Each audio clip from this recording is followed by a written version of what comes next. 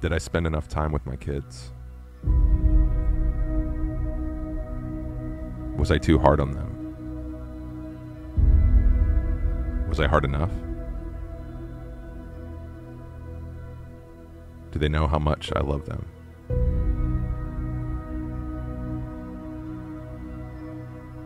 Do they know how proud I am of them?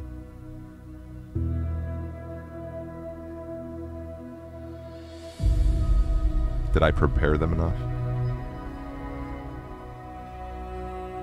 Did I not prepare them enough?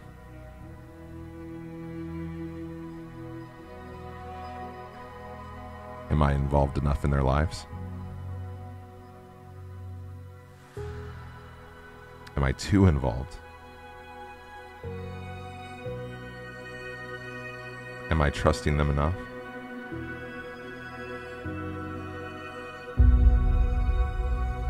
Am I teaching them what's right? Am I a good parent?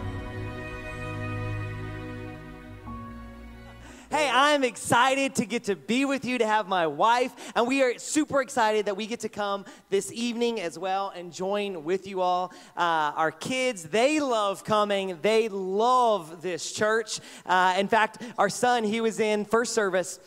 And they texted us. They were like, You'll never believe what your son said. We were asking the kids, How can you get closer to God? And your son, Creighton, he raised his hand. He was like, You can do a fast and then starve yourself so you die and then you'll be with God. And I'm like, oh, that one's mine. That one's mine. I'm teaching you how to parent. Are you kidding? like kid's trying to kill your own children. Get them saved and then get them as quickly as we can to Jesus. That's the plan. Well, I'm excited to be with you all. Uh, a couple weeks ago, I actually uh, went on a trip. I was flying out for a wedding of a staff member who was getting married. And right before we were getting ready to fly out, uh, I was flying out, Lindsay and the kids, they were staying here. And I started to have those morbid thoughts that you have when you're getting ready to leave of like, what if happens if something happens to me? You know, does my wife know the passwords? Does I want my kids to, you know, think I was a good parent? I want my wife to know that I loved her. There's so many things that have been unsaid, like all these thoughts that were running through my mind. And then there was one overwhelming thought that I was like, I have to say this to my wife. And so I went up to her right as I'm leaving, and I was like, Lindsay, if anything happens to me, I want you to promise that you will always water the lawn. You see, I'm a guy, I care about the lawn, okay? Do I have any yard guys out there? Any people you're like, I am a yard aficionado? Like, I grew up in Kentucky and it's called the bluegrass state, okay? So we care about grass. I'm the guy that sits there and I go and I hand pick all the different weeds.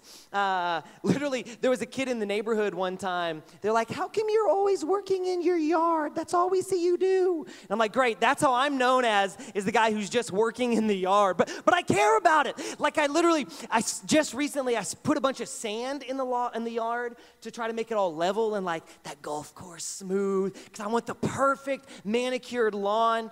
I even had this new person in the neighborhood they moved in, and uh, I was telling them, oh, we just live right around the corner. And they're like, you're the one with the nice yard. And I'm like, yes!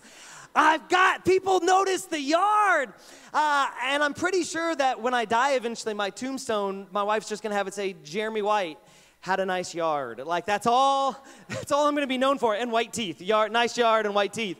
Uh, you know, unlike Pastor Chad, Oh my goodness, can you imagine? Like, he's gonna need a tombstone that's like 12 miles big just so they could write all the great things. And, and it's gonna be something along the lines of Pastor Chad. It's not even gonna have his last name because everyone knows who he is. Pastor Chad, follower of God, amazing husband, loved his kids, incredible pastor, rock hard abs. Like something, some combination of all of that is gonna be on that tombstone. Uh, but today, I really want to talk about what's the legacy that you're leaving? How are people going to remember you? And they say that an inheritance is what you leave for someone, but a legacy is what you leave in someone. What is it that you want to leave in your children? And not just in your children, in the next generation. I love that this is a church that is passionate and that one of your values is that you're pouring in and connecting and care about the next generation, that you're discipling them. Man, I love that about this church. I actually, uh, I was reading about uh, this pastor. His name was Jonathan Edwards. He was like one of the super pastors in the 1700s in early America, uh, right before the, the American Revolution. And he was this great revivalist. And as I was reading about his lineage, they did this study about him. And here's what they found they measured, they looked at 729 of his descendants. And of these 729 descendants, 300 became preachers, 65 college professors, 13 university presidents, 60 authors, three U.S. congressmen, and one vice president. Wow. Like, I'm glad when my son gets a B. And this guy has this just legacy of his kids doing these things. And then they measured and they looked at this other guy in the same time period. And this guy, his name was, uh, was Max Jukes. He's lived in the same city, like same area. He had 1,200 descendants. And of those 1,200, seven were murderers, 60 were thieves, 150 were convicts, 190 were prostitutes, 440 were alcoholics, and ultimately, they observed that this whole line, this whole family tree, made no helpful contributions to society. And here was the summary of this, this whole article, this whole thing as they were analyzing these two family trees. They said this How a parent raises their child, the love they give, the values they teach, the emotional environment they offer, the education they provide, influences not only their children but the four generations to follow, either for good or for bad. So you might not realize it, but you are leaving a legacy. What's the legacy that you want to leave? What is it you want to pour into the next generation? You see, unfortunately, the problem is a lot of us just settle. Don't settle. We're like, I'm good. Things are fine. My, my kids are good. That's everything is fine. Man, you need to be pouring into your kids, to your grandkids. If you don't have kids or grandkids, you need to be serving. You need to be pouring into other people's kids. Why? Because God's plan extends beyond this generation. God has a plan that extends for generations, and God has a plan for you to be a part of that plan. So we've got to continually be pouring in. Well, today, I want to look in a passage of scripture uh, and look at this kind of legacy that was left. If you'll turn with me first uh, in your Bible, if you have it with you, turn to Joshua chapter 13.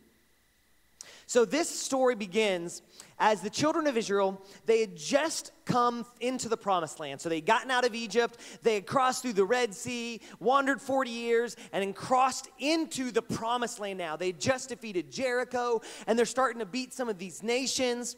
And then listen to what it says. When Joshua was an old man, beginning in verse 1, when Joshua was an old man, the Lord said to him, You are growing old, and much land remains to be conquered. You see, the job was not done. Yes, they had come into the promised land, but they haven't driven out all of the enemies that God had told them to do. And so, as they were dividing up the land, each tribe was given a different piece of land. In fact, I've got a map if you want to throw that up real quick. You can see all the different tribes had all different spots. And today we're going to be focusing. Oop, it switched on me. Oh, oh. Now I got all like, there it is. Uh, this tribe right here, the tribe of Dan. So let me tell you a little bit about the tribe of Dan. Dan was one that they were the second largest of all of the tribes at that time. So you had the tribe of Judah was the biggest, they were the baddest. They were like the mega mega tribe. But then right beside them was the tribe of Dan. And so God had strategically placed the biggest two tribes, the tribe of Judah and the tribe of Dan, to be at the very bottom of the country right here. Because right along in this spot, you had the Canaanites. Eventually, those would even become the Philistines. We know David, you know, he defeated, defeated the Philistine giant. In fact, right over here, you even see the city of Gath, or uh, right where he's from.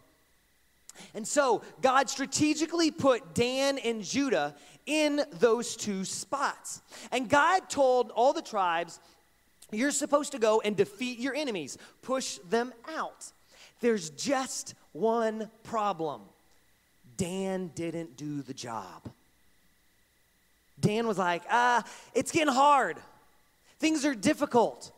Yeah, we're, we're coming up against these guys, these Canaanites, and they're difficult, and I don't know about this. I, things are getting hard. And so Dan just kind of stopped. They stopped fighting, they stopped moving forward, and they just kind of like, eh, we'll just settle over here. Problem is, it wasn't a lot of space, and they still had these enemies pressing up against them. So let's continue this story. We're going to jump into the book of Judges now. If you have your Bibles, turn with me to Judges chapter 18. We're going to begin in verse 1. Now, in those days, Israel had no king. And the t- tribe of Dan was trying to find a place where they could settle, for they had not yet moved into the land assigned to them. Again, because there were all these enemies that they kept coming against when the land was when the, when the land was divided among the tribes of Israel. So the men of Dan chose from their clans five capable warriors from the towns of Zorah and Eshtaol to scout out a land for them to settle in. So they couldn't conquer the land that they were supposed to. So they decide on five spies, these five scouts that are going to go throughout the area and they're going to find a new home for them. Now, let's pause on this story for a second, and I promise we're going to come back. There was living in the land of Ephraim, so right over here is the country, the land of Ephraim, right beside Dan. Right in the land of Ephraim, there was a guy named Micah. Now, this is not the Micah that wrote the book of the Bible called Micah, that was the prophet. This is a different Micah. This Micah, he was an Ephraimite, he was living in the hill country, and uh, he actually had created this idol you see, he had stolen $11,000 worth of silver from his mom back in the day. And then his mom, he heard her talking about the silver. And she even said, Man, I'm going to put a curse on whoever stole this silver. And so Micah, he's like, Oh my goodness, my mom's about to put this curse on this silver that I just stole. Uh, Here, mom, here's this silver. And she's like, Okay, we'll take some of this silver, we'll take five pounds of it, and we are going to make an idol. And so Micah, his mom, and his family, they had this small little five pound statue, this idol that they set up and they worshiped. Now, back then, God gave each one of the tribes a different plot of land that they were supposed to live in. They were supposed to conquer and take over. And so you see, kind of smattered all around the area, all the different tribes. Now, the tribe of Levi the Levites were the priests in those days. And so God said, I'm actually not going to give the tribe of Levi one plot of land. Instead, I want them to be priests for the entire country, for the entire nation. And so he spread them all out and he selected different cities that the Levites were supposed to live in. And so you see all the lists the Levites are supposed to go to this city and this city and this city. And God spread them all out strategically throughout the country so that they could serve as the priests. Well, we're going to dive into the story. We are going to find that there is this one Levite named Jonathan. Now, Jonathan is an interesting guy. He has the best lineage you could ever hope to imagine because Jonathan's grandfather is Moses. Like literally, his dad is Moses' oldest son. And according to Jewish tradition, this son of Moses did not really serve God like Moses did. He didn't take like a deep love and compassion for God. He wasn't deep in his studies. And so, this son of Moses, Moses was a godly man, but he was not a great father. He's not the person that you want to base your parenting life off of. So Moses' son, Gershom, he really wasn't the greatest influence. And now that has been passed down to this grandson named Jonathan. And so Jonathan is living in the land of Bethlehem, it says. Now, what's also interesting is that remember I told you that the priests, were, the Levites, were supposed to live in all those different select cities all over the land? Bethlehem was not one of the cities that the Levites were supposed to be living in. So already you see that this guy Jonathan is living in a spot that he is not supposed to be living in. Finally, Jonathan, he's like, things are tough in Bethlehem. I'm going to go find a new spot. And so he begins to wander around. Eventually, he comes to Ephraim. He comes to Micah's house. He meets Micah. Micah's like, Whoa, you're Moses' grandson?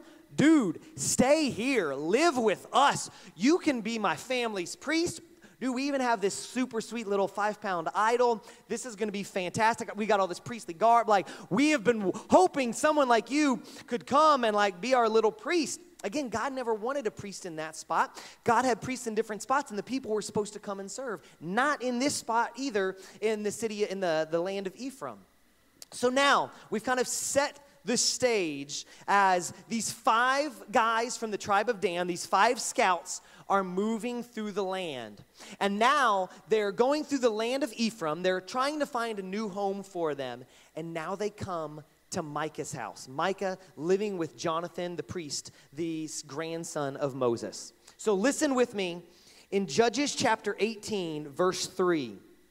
While at Micah's house, they, meaning the five guys, recognized the young Levite's accent. We're talking about Jonathan here, the priest. So they went over and asked him, Who brought you here? What are you doing in this place? Why are you here? Okay, this is kind of a surreal moment for these guys. These five spies, they're in the middle of nowhere okay? Like, I'm talking nowhere, like out in Cresson. Like, that's kind of what we're talking, okay? These guys, they are out, and they're like, Moses' grandson is out in Cresson? Like, are you kidding me? No one's out. How did this happen? And then he shows them, oh, well, I'm set up as the priest here for Micah. We've got this little five pound statue. Like, this is what we worship. And they're like, okay, well, we're trying to find a new spot for our entire tribe to live. You know, we were thinking of going north. Like, is that where we should go? And he's like, yes, go north. God is going to be with you.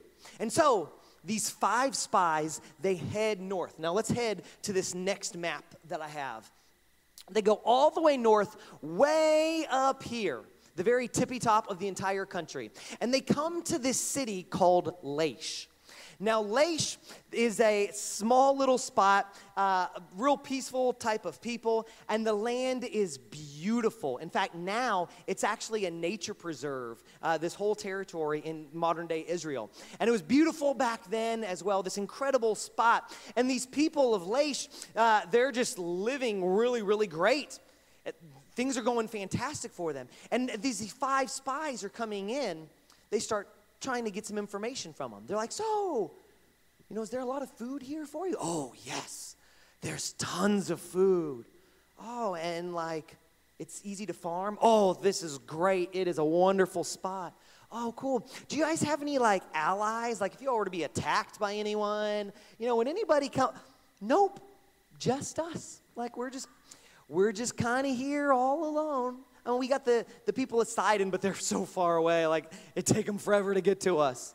Cool, cool, cool, cool. All right, hey, well, we'll catch you guys later. All right, we're just gonna go. And so these five spies, they go back to the tribe of Dan and they're like, guys, we found it.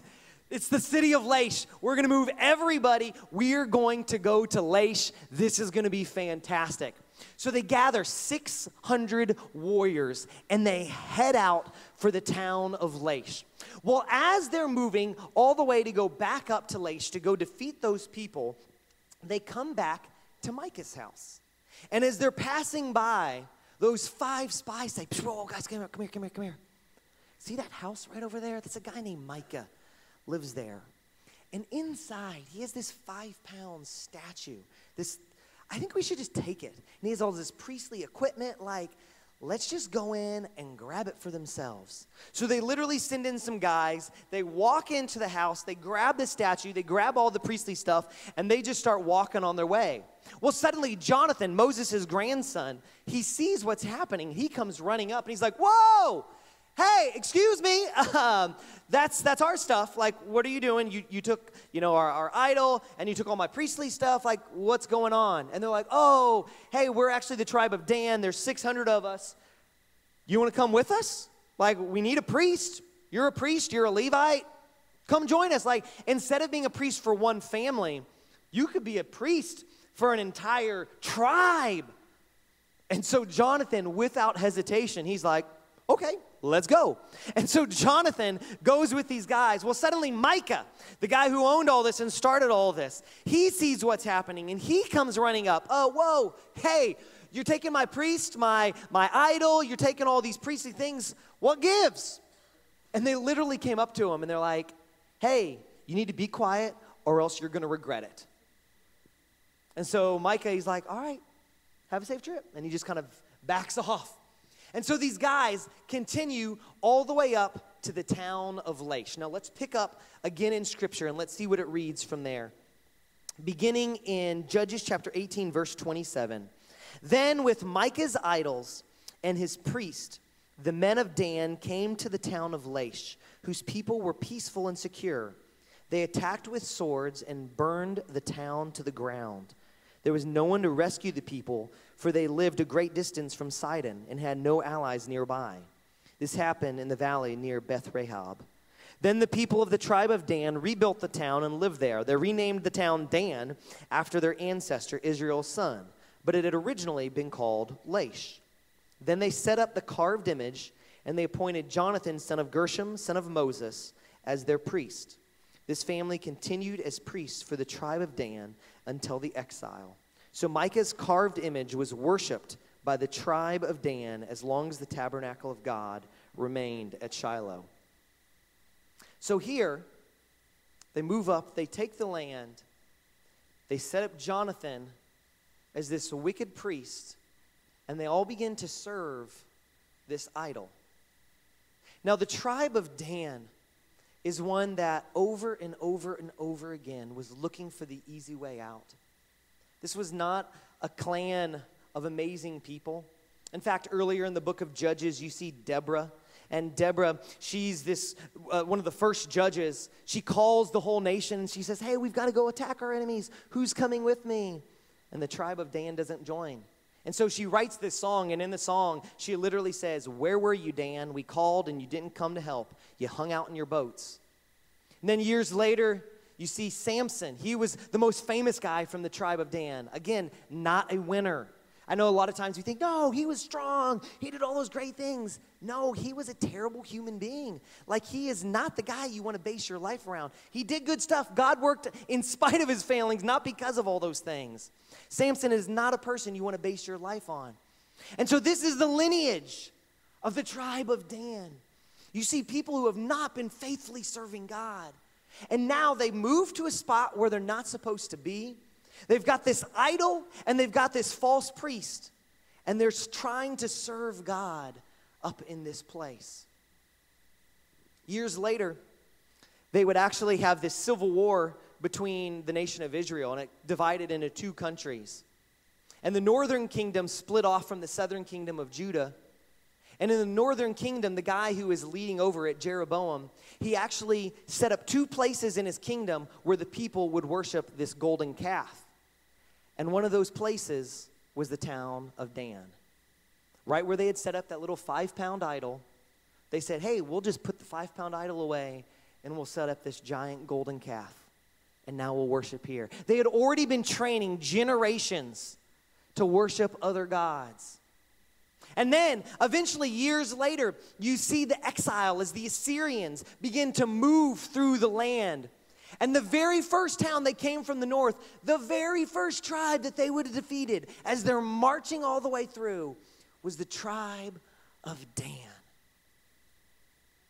So, what are the things that we should learn from the tribe of Dan? I believe there are three things that God wants us to learn here today. The first thing is don't ignore where God tells you to go. God might be speaking to you or he has spoken to you. Hey, I want you to do this. I want you to go to that person. I want you to get this job. I want you to, to follow this path, this plan. But so many times we settle and we say, nah, I'm good. I just want to, it's comfortable here.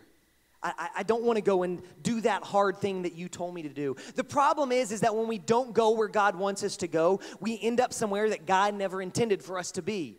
God never intended the tribe of Dan to be in the north. He intended them to be in the south. He intended them to beat the Philistines and to be a part of that brick wall on the south. But they didn't fulfill that calling that God had for them. Why? Because they weren't willing to go where God said to go. When God speaks to you, you need to go. Now, some of you, you may be looking at yourself and you say, Pastor Jeremy, God did speak to me and I did say no. Well, guess what? It's never too late to still say yes. It's never too late to say, okay, God, you want me to do this? I am going to do this. How awesome would it have been? How incredibly awesome if generations later the tribe of Dan had said, you know what? Let's go back. Let's finish the work that our families never did. Let's go out and defeat those enemies. And we're going to show them what the tribe of Dan is really made of. You think God would have honored that? Absolutely. I was talking to a guy recently and he was telling me, he said, Pastor Jeremy, I, I, I, feel like I was supposed to go into ministry and I just didn't obey that calling years ago. And I'm like, well, what's stopping you now? Do it now. And he's literally about to jump into Bible classes. He's retired, but he's like, I am still gonna do the work that God, even though I said no before, I'm gonna say yes to what God has for me. You need to go where God wants you to go. There's a second lesson, though, that I believe we have from this story. Don't carry things God never wanted you to carry. As the tribe of Dan was going through, what was the thing that they picked up with them? That idol, that silver idol. And they're like, let's take this with us. And so many times we do the same thing. Now, it may not be an idol that we're picking up. Instead, we're going and we're saying, you know what? I'm going to pick up this anger, this bitterness. I'm going to, ooh, I'm going to carry this. And this is going to come with me. You know what? I'm going to pick up fear and anxiety. These two, they're going to travel with me. Yep, come on, let's go. Let's go over here. God never told you to pick those things up. So why are you picking up something that got a burden that God never wanted you to carry in the first place? Don't carry those things that God doesn't want you to carry. But there's a third lesson I believe that we also have from this story. Don't invite the wrong people into your life. This tribe was real quick to invite Jonathan, this wicked priest, into their life. On paper, he was the real deal. I mean, on paper, this guy is a great hire. This is a no-brainer. The problem is, is his life did not reflect what all of his credentials showed. And so many times we do the same thing. We allow people to influence our lives. We pull them in into places that we never should. And some of you, you may even be saying, well, Pastor Jeremy, that's, that's my family you're honestly talking about. Like, my family isn't serving God. Like, I'm not going to cut your family out. Look, here's the deal I'm not saying you have to completely cut your family out, but I am saying you don't want your family to be the main influence on your kids' lives if your family's not serving God. I literally was talking to someone this past Wednesday, and uh, this mom came up to me and she said, What do I do? I, I live with my father, and he watches all these terrible pornographic shows in front of my two year old. What should I do? And I'm like, Time to move out. She's like, Well, yeah, but it's my dad. And I'm like, That's not an influence that you, I don't care if it's your dad. You don't want that influence on your children. You have got to take the step forward. I was talking to another guy that uh, he's got guys, these buddies they're not bad guys, like they're not doing bad stuff, but they're not challenging him and pushing him deeper in his walk with God. They've just kind of all settled together. The people that you need in your life are the people that are going to push you forward.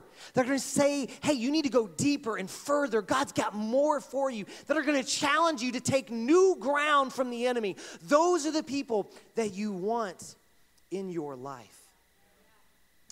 You know, as I look in this story of the tribe of Dan, the thing that's the most heartbreaking is when you skip to the last book of the Bible, the book of Revelation. And God, He's talking about all the people that He saved for Himself. And literally, He says, I've saved 144,000 that are going to be following me. And He lists all the tribes that this 144,000 are coming from 12,000 from the tribe of, of Judah, 12,000 from the tribe of Benjamin, 12, and he lists all the tribes. But there's one tribe that he leaves out. He leaves out the tribe of Dan. He literally, uh, eventually, you see that Joseph, his family was kind of divided into two tribes. And so, as it lists the tribes, it lists Joseph's two sons. But it doesn't mention anything about the tribe of Dan. Why? Because God said, This family is so wicked. This family does not serve me. It is generations and generations upon generations of wickedness and idolatry that I am going to cut them out of my plan. And that is heartbreaking. I don't know about you, but I don't want to be cut out of God's plan. I want to be right in the middle, in the center of God's plan. I want to go where God tells me to go. I only want to bring the things that God wants me to bring. I only want to have the people in my life that God wants surrounding in my life. I want to be right in the will of what God has for me. And when you do those things, I promise you, you will leave a legacy that extends beyond you, beyond your children, that'll extend even beyond four generations. You will have generations upon generations that look and they say, Man, my great great grandmother, my great great grandfather, they were righteous, they served God. Now, some of you, you may look at your life, you may say, I don't have a great lineage. I look at my family tree and it looks a lot more like Max Jukes than it did Jonathan Edwards. It's a bunch of losers, people who weren't serving God. What if you're the person that God wants to use to transform all the generations to follow? What if you're the one that begins this new line that says, no longer will our family be known as drunks. No longer is alcohol going to rage through our family and destroy marriages. No longer are we going to be known as a family filled with divorce. No longer is hatred and anger going to be a problem that we struggle with. No longer is unforgiveness going to be something that's passed down from generation to generation. No longer are we going to be a family that's absorbed with greed and how we can get more and more and more. No, what if you're willing to say, I want to step forward? and I want to change things, not just for me, but for all the generations to follow. All across this room, would you bow your heads with me? Because I know in this room, there's some of you that you may look at your own life and you may say, Pastor Jeremy, I am not living the life that God has called out for me. And if you are super honest with yourself, the legacy that you are leaving, what you've put into other generations, is not the legacy you want to be known for. And today, God wants to change that legacy. Thank you for joining us online today. Make sure and hit subscribe to this channel and hit the bell for more notifications. We can't wait to engage with you this week.